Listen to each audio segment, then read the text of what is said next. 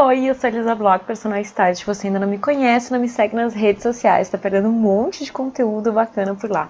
Tá aqui, segue lá, tem dica todos os dias de moda, estilo, meu dia a dia de personal stylist, enfim, muita coisa legal. E hoje nós vamos falar. Hoje eu trouxe vocês, aliás, aqui de novo, nesse cantinho tão íntimo da minha casa. Gente, aqui no sul já tá começando a ficar friozinho, tá? Então a gente já tá querendo se aconchegar um pouquinho mais. E hoje estava batendo esse solzinho aqui na minha cama. Eu pensei, vou gravar aqui com esse clima tão gostoso e para falar sobre cores, as cores do inverno 2020. O friozinho tá realmente chegando, gente. Hoje tá bem fresquinho já aqui em Porto Alegre, tá tão gostoso. Tô aqui sentadinha nesse sol, pegando um ventinho. Gente, é uma delícia. E, e com ele, claro, nós sempre pensamos no inverno como uma temporada de looks mais é, neutros, de looks básicos, peças mais cores mais fechadas, mas nós estamos entrando aí no inverno um pouco mais colorido, com várias opções de cores bacanas, cores mais opacas, que vão realmente deixar a temporada super estilosa. Então, assiste esse vídeo que eu tenho certeza que vocês vão amar.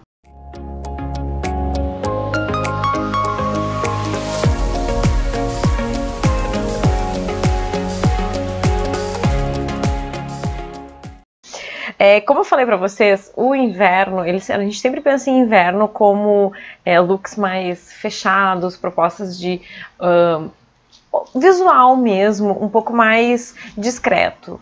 É, eu acho que combina realmente um pouco mais com a temporada, né? A gente sempre pensa em verão, coisas alegres, leves, muita suavidade, e o inverno realmente por uma questão até de proteção, a gente tem a sensação que as cores mais é, escuras, mais neutras, mais opacas, elas aquecem mais e realmente a gente tem essa, essa sensação visual. E quando a gente fala de, de cores de temporada, eu gosto sempre de falar que assim, uh, existem sempre as propostas de cores, né? Assim como existem as tendências de inverno, de verão, enfim, mas claro que nós sempre temos as cores que nós gostamos e as peças que nós gostamos e que não abrimos mão. E independente se está ou não em alta, nós podemos usar, até porque isso faz parte do nosso estilo pessoal. E as, com as cores funciona da mesma maneira. Então nós temos, estamos entrando aí no inverno 2020 com uma proposta de cartela de cores muito opaca. Ou seja, o que, que é a cor opaca? É aquela cor que não, não brilha, aquela cor que não é vibrante, como as cores de verão, sabe? Não, não é aquela cor acesa. Então são cores um pouco mais fechadas, mais introspectivas, poderíamos falar assim de uma maneira é, como se fosse de personalidade. Então, as cores opacas, elas são muito fáceis de combinar entre si.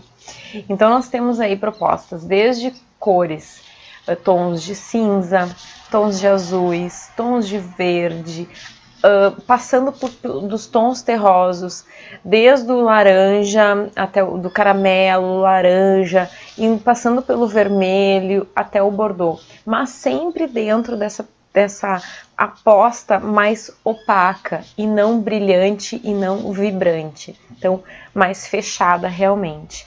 É, é uma cartela de cores muito elegante e muito fácil de combinar entre si, porque como eu falei, como as cores são uh, mais fechadas, elas não vibram tanto, elas não brilham tanto, mesmo fazendo combinações é, ousadas de cores, elas não ficam realmente chocante num, ao olho, né? Então é realmente um pouco mais fácil de combinar do que tons vibrantes. Como eu falei, os tons terrosos são assim a cartela de cor principal dessa temporada. Então eles servem inclusive como base para fazer é, as combinações com cores. Então, desde o caramelo ao laranja até, o, até os tons de vermelho, chegando no bordeaux, fazer a combinação com outras cores é sempre muito uh, harmônico visualmente. Então, os tons terrosos eles entram realmente como o, o neutro, como o básico para complementar o visual com outras aí, com outras cores. Aí eu fiz uma seleção de, de, de looks para falar, para mostrar para vocês, que eu acho que são inspiradores e para a gente realmente criar as nossas produções do dia a dia, do final de semana. E eu acho que uma das combinações mais certeiras que a gente pode usar de uma maneira muito, muito, muito elegante é essa combinação desse tom de bordô, tom de vinho, assim, um pouco mais escuro, com o bege ou caramelo. É uma, realmente ficou uma combinação muito chique, uma combinação descolada.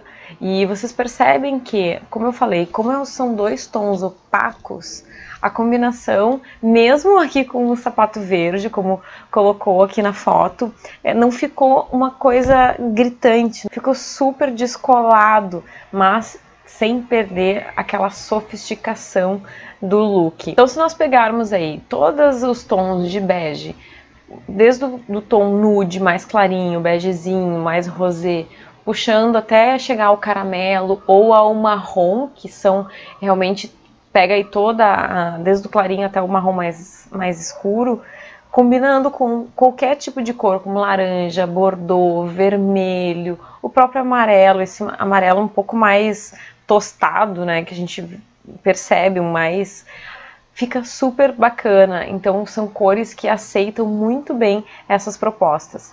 E também eu, o azul é uma, uma cor que também a gente percebe que aceita muito bem essa composição com essa cartela caramelo. Inclusive eu acho que uma das, uma das apostas também principais assim de looks é aquele tom, tom de azul quase verdinho assim bem clarinho com marrom, que eu tenho visto muito assim em, nas lojas e propostas de looks na internet, com essa combinação, que eu acho que foi uma combinação que deu muito certo e que as pessoas realmente simpatizaram bastante com ela.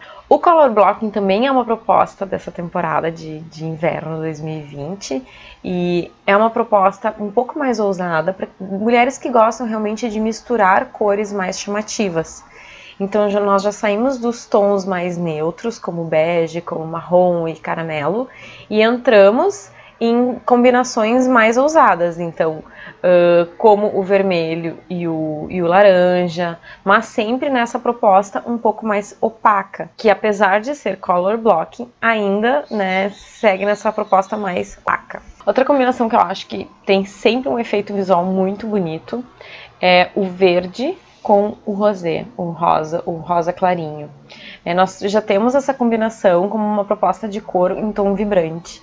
E agora nessa temporada, essa, essas duas cores se juntam nessa tonalidade um pouco mais opaca e que apresenta realmente uma, uma proposta bem fashionista, né? Mas ao mesmo tempo sem perder essa sofisticação. Verde é uma das propostas bem em alta na temporada. Esse verde, inclusive, eu acho que ele combina muito com o que nós estamos vivendo hoje, que é o verde ele representa a esperança e agora nós nesse período de pandemia, né, é, a esperan esperança é o que mais renasce, é o que mais existe no nosso coração e o verde realmente representa, né, esse esse sentimento. Então ele é muito bem-vindo para essa temporada. Então essa mistura do verde, inclusive com o laranja, também é uma aposta bem interessante que nessas tonalidades mais opacas funciona muito bem e que é uma combinação certeira e sem perder realmente essa, esse, esse estilo mais fino de look. Eu gosto muito dessa, dessa combinação de cores, apesar de usar muito pouco color blocking. Bom, e aqui nós temos também uma produção que eu acho que pode inspirar muito e que, apesar de ser composta com a blusa, que é um tom um pouco mais opaco, criou realmente um visual muito é, estiloso, que é com o animal print. Então, é realmente essa uma mistura da cor com o animal print, sempre cria essa produção mais fashionista. E, e o tom opaco realmente acalma a estampa, acalma a produção visual e realmente faz a gente criar um visual mais invernal, porque essa é uma proposta muito usada no verão e no inverno nós podemos utilizá-la então com essa proposta, com essa cartela mais opaca. Realmente cria um, um visual que eu acho bastante interessante. Eu sou uma pessoa um pouco mais monocromática. Vocês já devem ter percebido isso, eu uso poucas cores. Eu uso muito preto, branco, cinza, verde militar também eu gosto bastante. Eu insiro poucas cores na minha, nos meus looks, mas quando eu insiro, eu gosto de colocar assim, uma cor realmente mais chamativa, mais tchan. E aí, meninas, eu quero saber de vocês quais são as cores que vocês mais usam, que vocês, a cor que vocês mais têm no guarda-roupas. E o que, que vocês acharam dessas propostas de looks coloridos, essas misturas de cores, tanto com cores é, neutras ou com cores opacas mais, enfim, coloridas. Me conta aqui nos comentários. Eu quero saber como vai ser o inverno de vocês, se vai ser mais neutro ou um pouco mais colorido, aproveitando essa tendência.